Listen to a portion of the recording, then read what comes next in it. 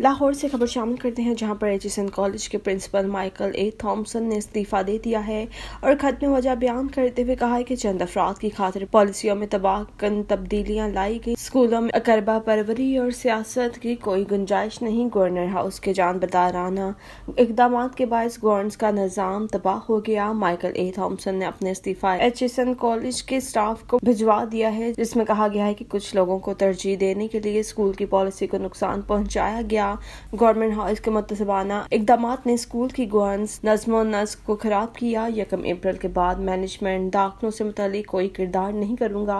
Board की सतह पर जो हो रहा है, वो आप सबको मालूम है। बरी गवर्नस के तसलसल से मेरे पास कोई और चॉइस नहीं बची। मैंने कॉलेज की शहरत की हिफाजत के लिए भरपूर कोशिश की। स्कूल के मामला में इतने दरानदाजी, कामयाबी से चलने वाले स्कूल के लिए नाकाबले यकीन है।